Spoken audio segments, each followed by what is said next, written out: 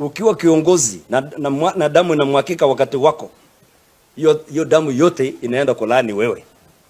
That's why mimi najaribu kwangu kuona kwamba kila mtu iko pamoja.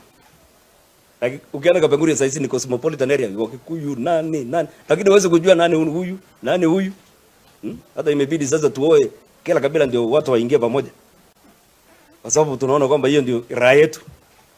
Kwa hivyo nataka niambie serikali especially Kidiki, kwa sababu yeye ndiye anaongoza hiyo kitu. Yeye ni lawyer, lakini inaonekana yeye anapenda vifo, watu wakufe, ndio anasherehekea na kupiga makofi wakati watu wanakufa. Hiyo sio njia, na naambia hata mheshimiwa rais, tulikubaliana na tukafurahi kwamba okay, wanajeshi wakienda pale watalete uhusiano mzuri kama vile ya Kibaki ilifanya. Hata mwenyewe alikuja maombi pale pale Kapenguria makutano na kaidi akaambia watu kwamba hii serikali yangu italeta ninyi pamoja, watu wakapiga makofi kama vile nimesema, yote ni kabila moja. Hatutaki kutaja, mimi mwenyewe sitaki kutaja, oh, hawa ndio wamefanya hii, hii ni serikali ndio imefanya hii makosa. Hata Turkana hawajafanya, hata Sagire kati ya hii, kwa sababu watoto wote wanasoma mahali pamoja. Kati ya hii wenye wameumia, hata wale wengine wameumia namna hiyo.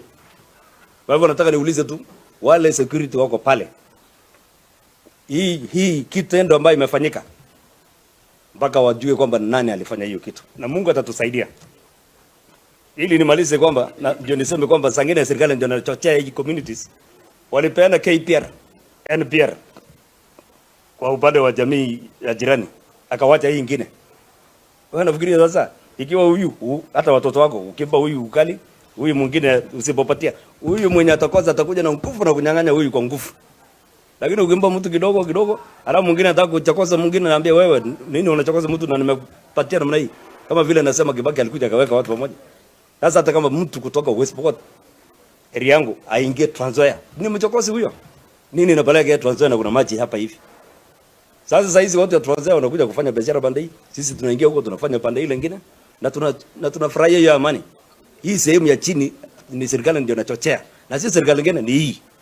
Hata mimi ni member ya UDA na regret kwa nini nilichakua hii ambayo inaletea hata sangine itafanya ni- nisiende mbinguni.